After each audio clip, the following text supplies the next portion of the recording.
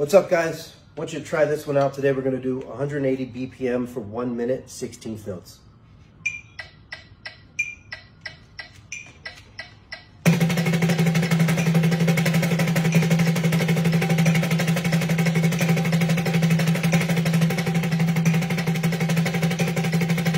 So the trick,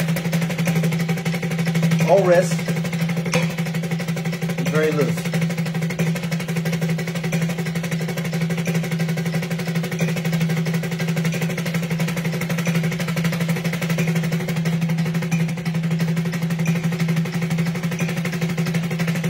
But don't go into it right away. I'd warm up for a few minutes.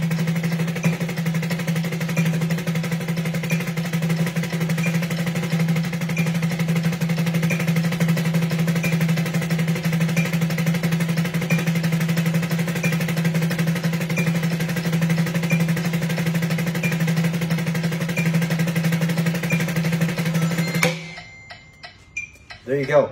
You guys should try it out. It's definitely a great builder of stamina. Let me know what you think.